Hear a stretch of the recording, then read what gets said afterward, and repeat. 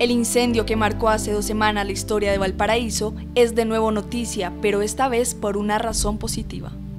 Miles de jóvenes suben voluntariamente hasta los cerros para ayudar a quienes perdieron todas sus posesiones en el incendio que afectó al puerto de Valparaíso.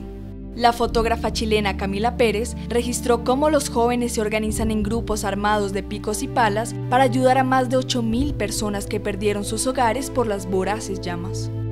Los dueños de las casas que quedaron en ruinas le ofrecen a los voluntarios comida y agua como muestra de agradecimiento, mientras ellos dan lo mejor de sí para reconstruir los cerros afectados.